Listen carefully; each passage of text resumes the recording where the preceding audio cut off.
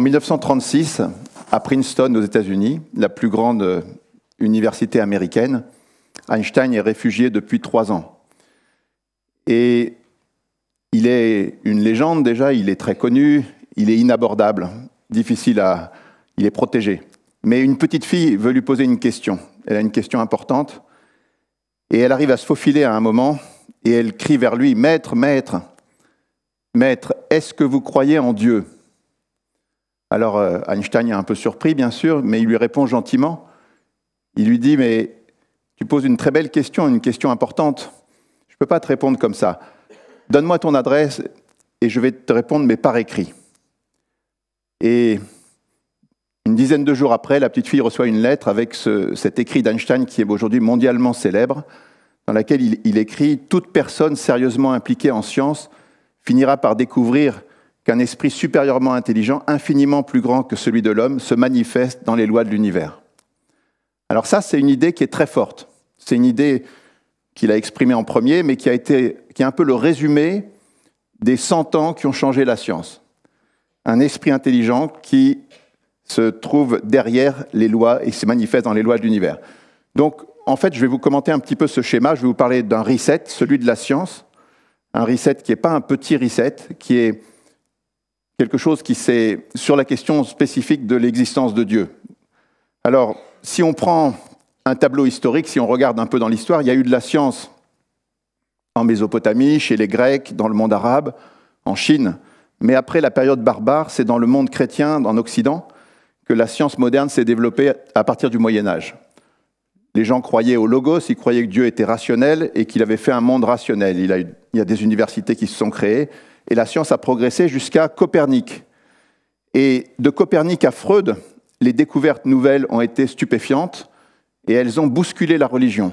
En fait, en elles-mêmes, elles n'avaient rien contre la religion, l'héliocentrisme, l'évolution, mais Premièrement, ça a changé la vision du monde des gens, c'est-à-dire qu'ils étaient déstabilisés par les découvertes nouvelles.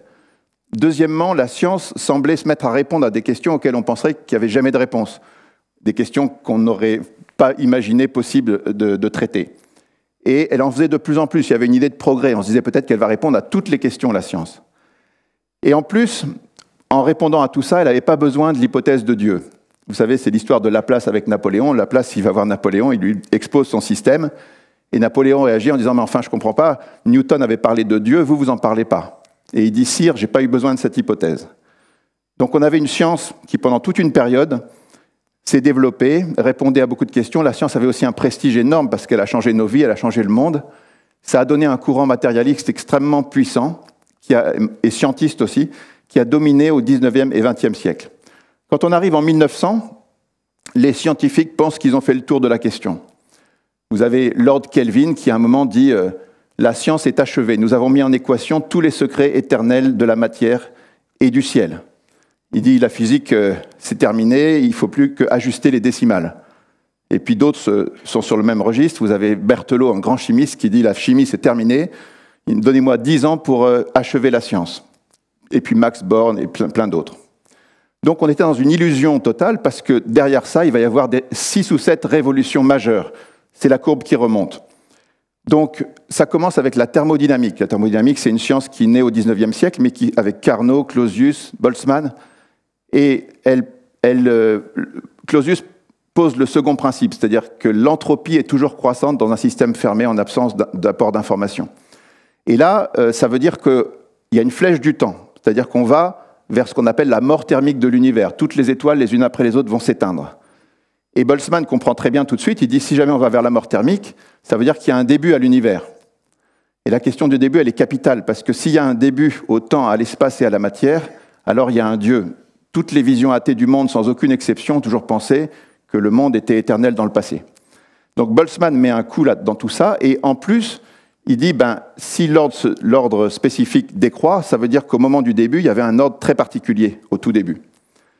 Bon, ça n'a pas un impact très fort, beaucoup de gens le combattent, finalement ils se suicident. Après, il y a une deuxième révolution très forte, c'est la mécanique quantique. Dans l'infiniment petit, on s'aperçoit que le monde, le réel, en fait, il est voilé, on ne peut pas accéder à la réalité ultime.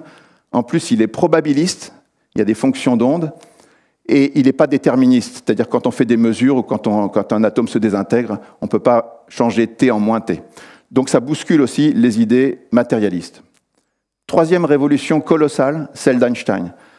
Einstein, avec d'autres, voit l'idée de la relativité restreinte, c'est-à-dire que la, la vitesse de la lumière est un absolu, donc ça veut dire que le temps est relatif. Et puis, par contre, tout seul, en 1915, il postule la relativité générale. Et là, c'est une révolution, c'est-à-dire qu'il explique que l'espace est courbé par la masse. En gros, si on ne va pas rentrer dans les équations d'Einstein, mais ce qu'il est en train de dire, c'est que le temps, l'espace et la matière sont liés. Ils ne peuvent pas exister l'un sans les deux autres. Ça, c'est jamais aucun philosophe, jamais aucun penseur n'avait pensé à ça. C'est quelque chose de complètement nouveau. On vous explique que si vous êtes près du Soleil, le temps passe moins vite. Si vous êtes dans un trou noir, il s'arrête. Si vous avez la vitesse de la lumière, le temps s'arrête aussi c'est des idées complètement folles qui sont l'intuition d'Einstein, qui sont mises en théorie, puis en équation. Il fait des prévisions, elles sont très vite vérifiées. Maintenant, tout le monde est d'accord. Il n'y a plus de débat sur ça, si vous voulez. On est sûr que ça marche. Alors, cette révolution, elle en amène une quatrième, qui est l'idée de l'expansion de l'univers. Personne n'avait jamais pensé à ça. Einstein n'y croyait pas lui-même. Il avait rajouté, il avait bidouillé un peu ses équations pour pas qu'il y ait d'expansion.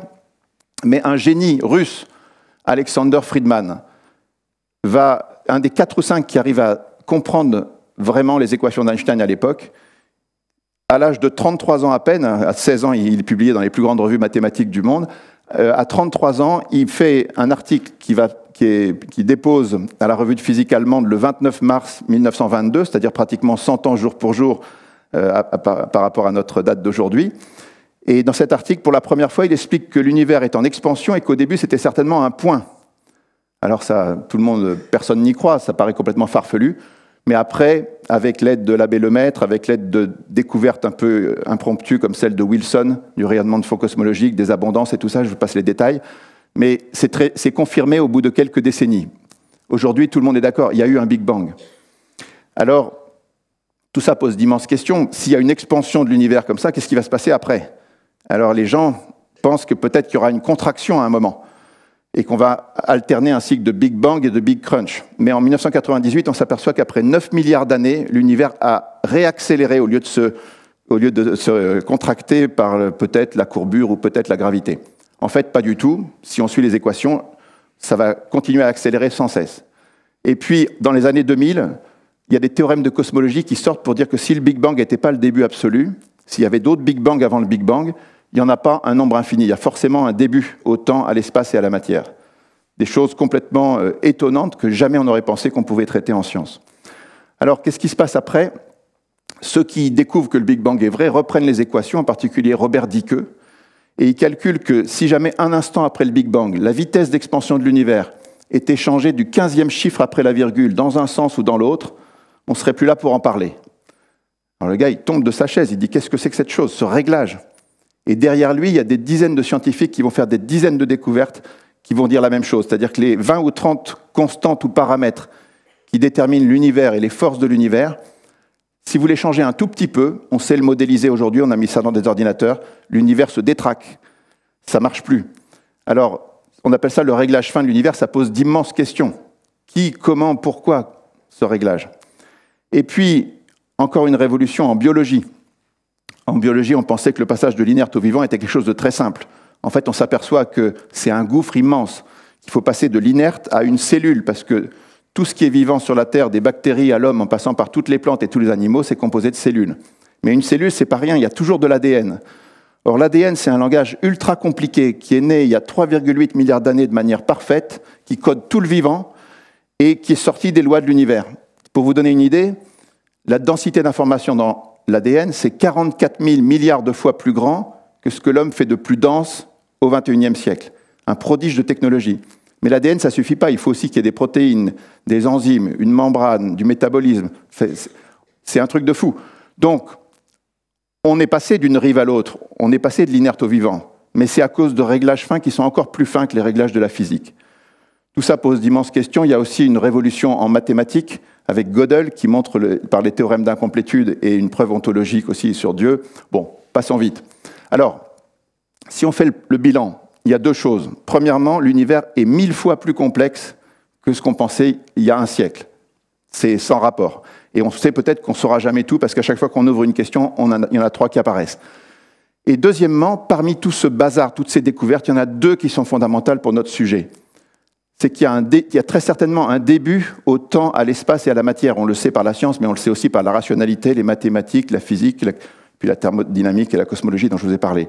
S'il y a un début au temps, à l'espace et à la matière, ça veut dire que cette émergence a été provoquée par une cause qui est transcendante à tout ça, qui est ni temporelle, ni spatiale, ni matérielle, qui a eu la puissance de créer tout ce qui existe, et qui a en plus tout réglé pour que les atomes puissent être stables, pour que les étoiles puissent brûler 10 milliards d'années, et pour que la vie complexe puisse se développer, toutes choses qui sont totalement improbables, on le sait aujourd'hui. Donc ça, ça pose des questions énormes, des questions euh, gigantesques, et c'est un véritable retournement de la science. Alors quand on regarde le, paysage, aujourd'hui, si vous regardez le monde, vous avez l'impression que cette question de l'existence de Dieu, elle n'est pas soluble, parce qu'il y a des tas de gens qui croient, des tas de gens qui ne croient pas, des gens très intelligents des deux côtés. Vous dites, comment est-ce que moi, avec mon petit cerveau, je pourrais aller plus loin? Mais en fait, c'est un peu comme Newton. Newton dit, j'étais juché sur les épaules des géants qui m'ont précédé, c'est pour ça que j'ai pu aller plus loin. Eh bien, aujourd'hui, pourquoi est-ce qu'il y a des gens qui croient? Parce qu'il y a plein de raisons de croire qui sont assez intuitives. L'existence de l'univers, son ordre, l'esprit, tout ça a été mis en, place par la philosophie qui en a fait des raisons de croire, des preuves de l'existence de Dieu.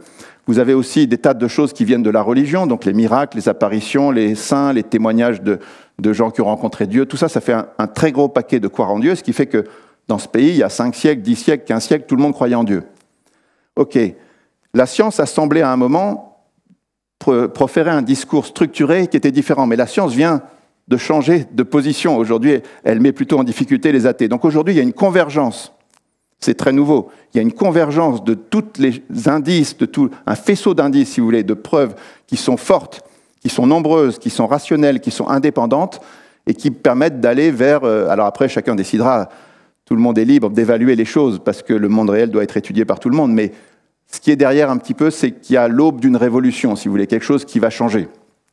Un grand reset. Et puis, euh, je termine par euh, mon histoire un peu perso. Moi, quand j'avais 20 ans, j'étais pas croyant. J'étais persuadé que les croyants étaient des gens irrationnels, qu'ils assumaient complètement d'être irrationnels. Et on m'a mis dans les mains des raisons de croire rationnelles. J'ai regardé, je croyais trouver la faille en cinq minutes. Et en fait, ça résistait beaucoup. Et je me suis aperçu que c'était très solide, si vous voulez. J'ai eu une énorme surprise. Et donc voilà, cette surprise, je pense que le monde va la voir aujourd'hui en tirant les implications des découvertes scientifiques des 100 dernières années qui changent complètement la donne. Je vous remercie.